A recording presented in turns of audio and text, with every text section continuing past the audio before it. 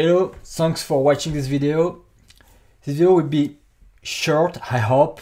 The goal is to show you Nginx App Protect and how to deploy Nginx App Protect. On DevCentral, we already presented the Nginx App Protect solution. Uh, there is there is a Lightboard where you can see it, and I will put the, the, the link in the description of the video. Now my goal is just to show you how to deploy it because there are several ways to deploy Nginx App Protect. The first one that I will present is deploy Nginx App Protect on a standalone host on a Linux, okay, so on the CentOS. Second option in a Docker, in the Docker container, and the last one, the brand new one, has a Kubernetes ingress controller. So let's do it.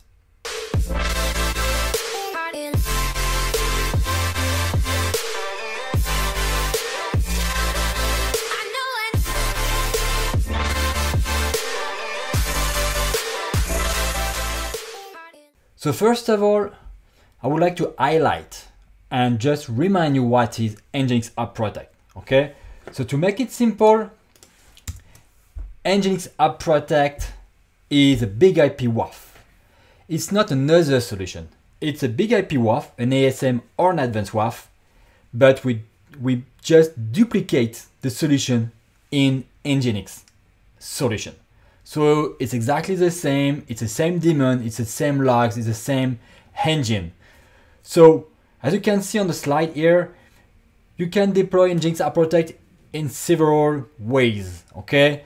So you can deploy it in front of your environment application, okay? Like in, in, in, a, in a load balancer or in a, in a, in a CentOS, standalone CentOS or in a, in a container.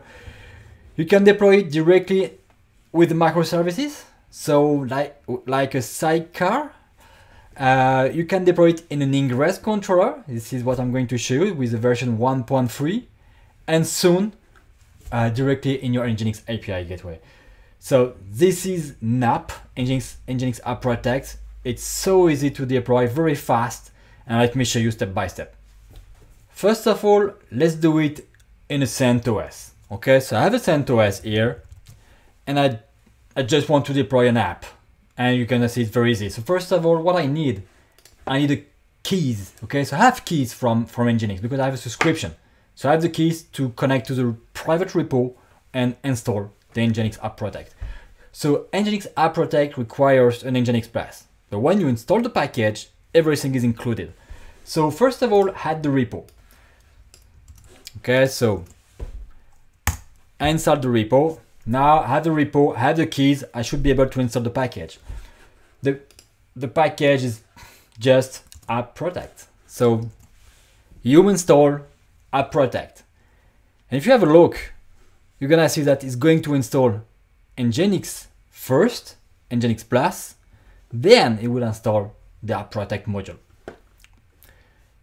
So as you can see, Nginx Plus version 22 and the app protect with all the dependencies. So let's wait, it takes few seconds. It's done. Now if I just check if Nginx is installed with Nginx minus V, I have an Nginx Plus version 22. Perfect. Let's do it very easily. So let's configure my Nginx Plus with App Protect module. So I just go to slash etc nginx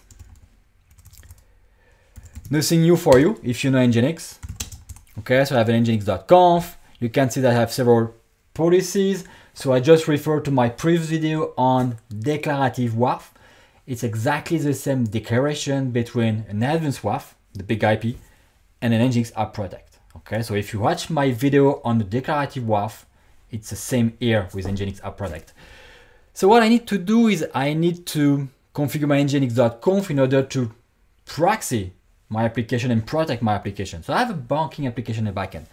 So first of all, just save the current nginx.conf file. Okay, never modify the default one. Keep a copy somewhere and create a new one. Okay, so sudo vi nginx.conf and let's put a new file. Let's create a new file. So I just copy paste my my file for the demo if you have a look, this is my nginx.conf. It's very simple, okay, so I just need a curly bracket at the end. As you can see, I refer to the module app protect. Uh, I include some app protect configuration parameters like my my policy, the default one. I use a default policy. It's an OWASP top 10 policy. Uh, the log are enabled and the log are sent to an ELK, an Elasticsearch, okay, ELK, Elastic Logstash Kibana. Uh, and the format is here. That's it, okay? So I save my file. Now I just need to define a logging profile, like in an advanced WAF, like in a BIG-IP, because I I said to you, okay, it's the same, same, same daemon, same module. So now just create a logging profile. If you know Advanced WAF or ASM, you are going to recognize the configuration, okay?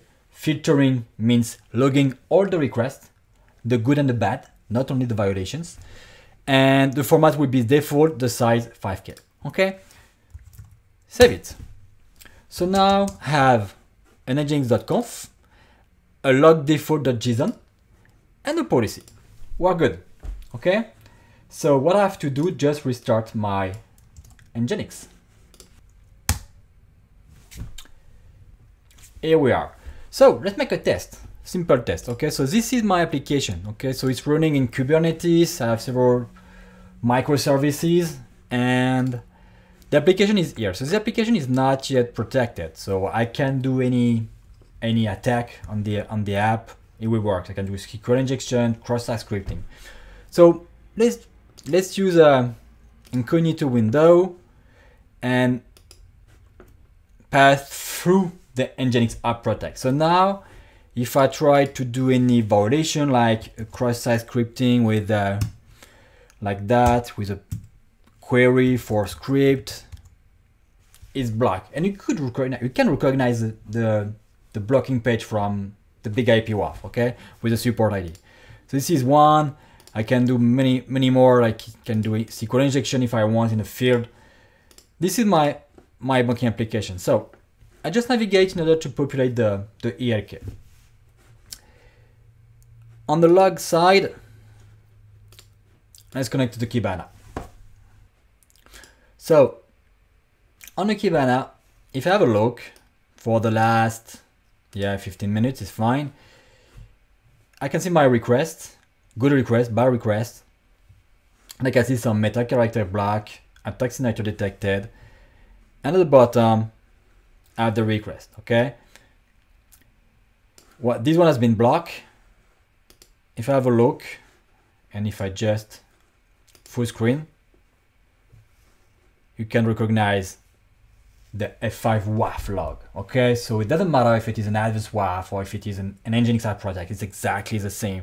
Have exactly the same fields, the same values, the same signature ID. This is very important, okay? So you can see the message, as usual, it's exactly the same. Uh, the request, it's a cross-site scripting on a parameter, okay? I have two violations for two signatures, and this is these are the signature IDs it's the same as an, as an advanced WAF on an ASM. So this is for deployment for, for standalone. Now let's have a look on the Docker. On Docker, I need to build the image. So the Docker file is available on nginx.conf GitHub. Okay, you can download the, the Docker file from here. So on this machine, have doc, some Docker files. You can see I have a standard Docker file, the basic one. I have one with the latest signature package and another one with the threat campaign.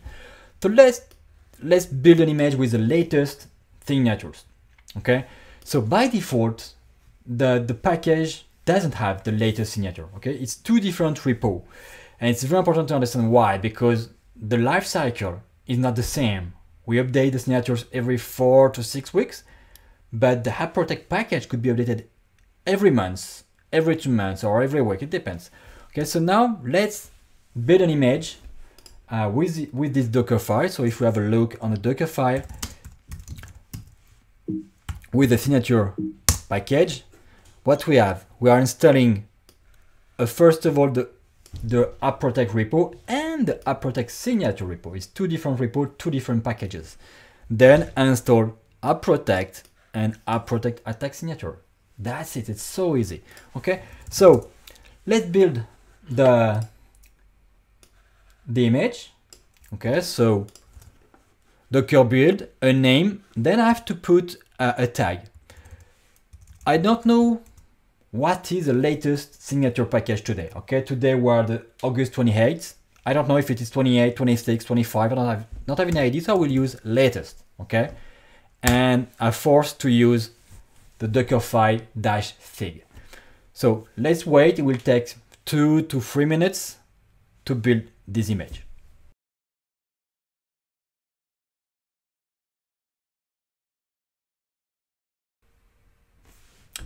Finish. Let's have a look. Docker images. Okay, I have an app protect with the tag latest. So far, so good. Now we have to run it. Okay, so docker run, dit, give a name, a port, and of course I need an nginx.conf file in my Docker image, okay, because it's it's per application, okay, it's not it's not a default one. So I just refer from my on this Ubuntu have my nginx.conf file for my banking application, and I just need to specify the tag. Should be running. It's up and running. So good. So it takes 20 seconds to run. Okay, so the daemon start and run all the daemons takes 20 seconds. So let's check in if it's still running. So far, so good. There is a way to know uh, the version, the version of the signatures. So I just check the log error.log and I can see here I have an attack signature package from 27th. So from yesterday, as you can see, we are 28th. So this is uh, the version of the thing that yours for, for today. It's running so far so good. So if I get back to my to my application, I just close this one. Okay, I don't care. I will use now the nap in the Docker and exactly the same experience, same user experience. If I try exactly the same kind of attacks with a B, for instance, uh, with a script, because this is so easy to, to do. It's black. I have another support ID, and if I refresh, another ID, another ID, another ID. Okay, and the log is sent to my ELK. So in the ELK now, I have as well exactly the same logs.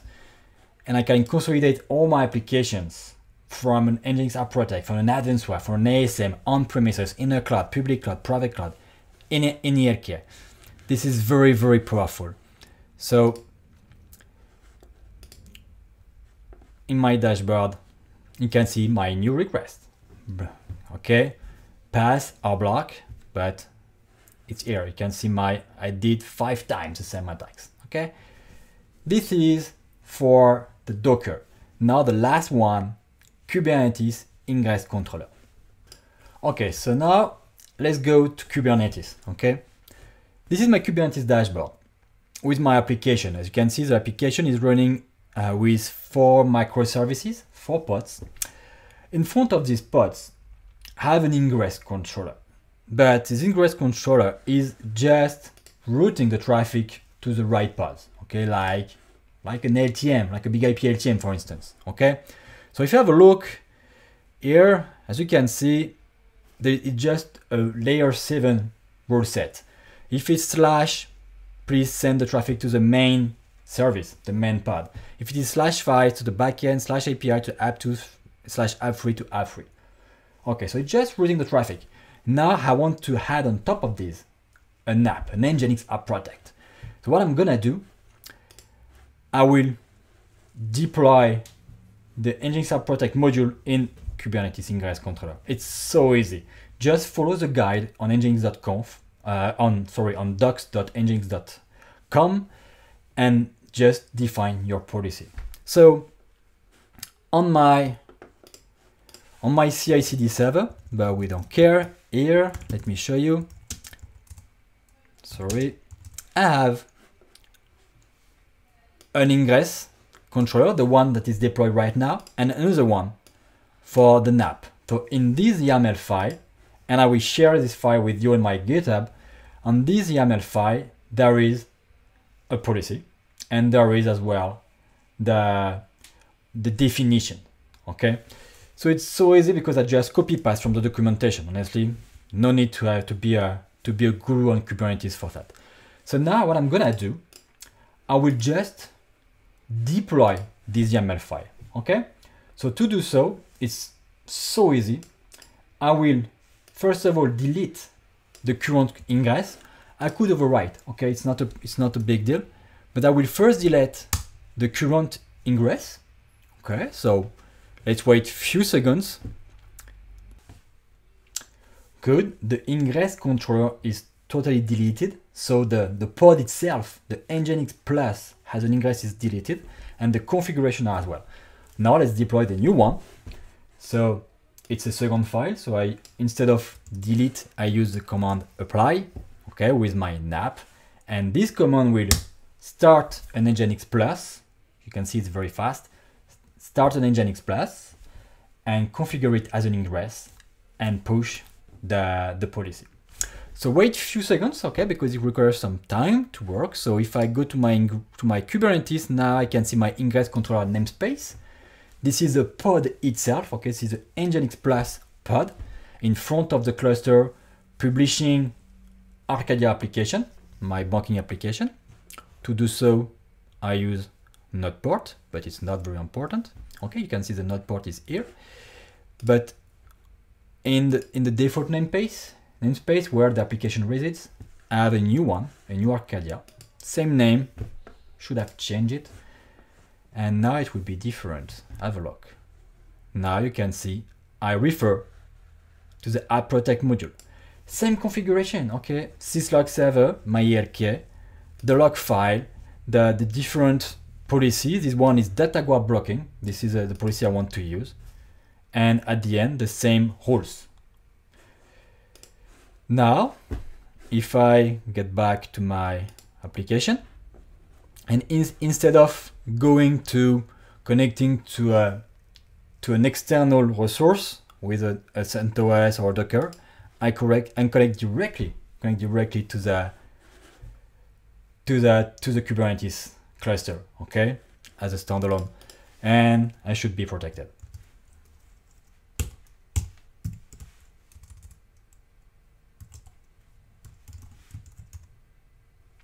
Here we are. Okay, so three different deployments with the same policy files, the same nginx.conf files, the same configuration, the same logging as well, the same ELK for the logs. This is how to deploy NAP today. Next video will be how to automate that with the CI/CD pipeline and Jenkins and Ansible and Terraform. Thanks for watching.